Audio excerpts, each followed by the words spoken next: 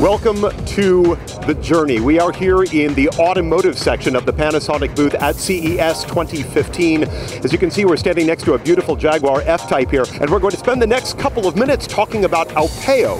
It's a phenomenal technology that's really redefining infotainment by allowing your vehicle to get to know you. It's way beyond interactive. This is personal radio. It is truly predictive and intuitive.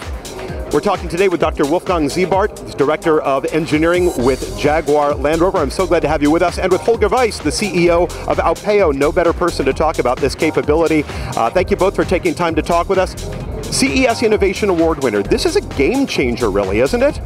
It is, and we are super happy and extremely proud that we won this award here for the new product, Personal Radio by Aupeo, because CES is the largest electronic show in the world, and if these guys say that is innovation, I think we should believe it. Then is this really about a combination of broadcast technologies and personal technologies operating hand in hand with one another?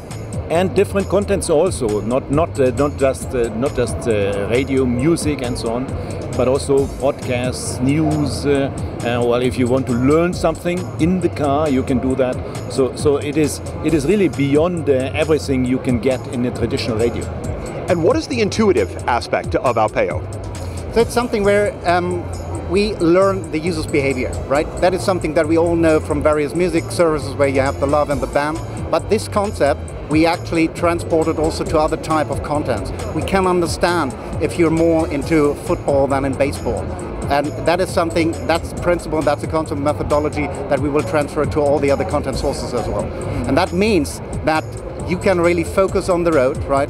I mean, in Europe there are countries where you can drive almost 150 miles per hour. There's no limitation, so you shouldn't have the fingers on a touchscreen, right? As I mentioned before, CES Innovation Award winner, what is Aupeo really doing in the industry right now that's not only pushing the margins, but it's really so far beyond the infotainment that we've been talking about in the past and really made CEA sit up and take notice?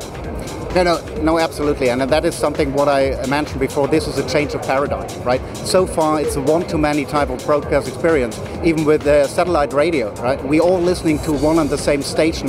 If we only pick the same station, this is the very first time that we bring the capabilities of the internet that we're enjoying every day at home, in the office, in the gym, wherever. Now in the car, and allow the user to enjoy what he really needs.